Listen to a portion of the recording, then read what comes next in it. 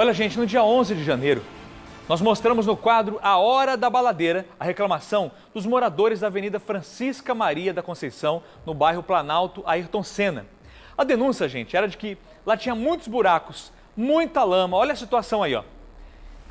Nesse, em um trecho ali dessa avenida. E com o inverno, a via ficava alagada e as casas ilhadas. As pessoas pediram ali um apoio da, da, da prefeitura.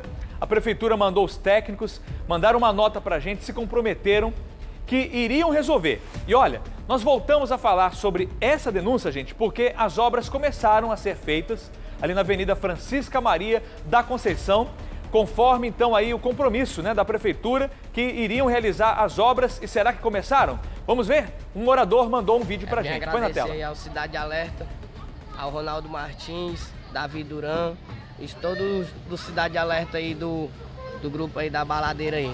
Depois que veio fazer a programação aqui, agora a obra tá, tá saindo aí. Obrigado a todos.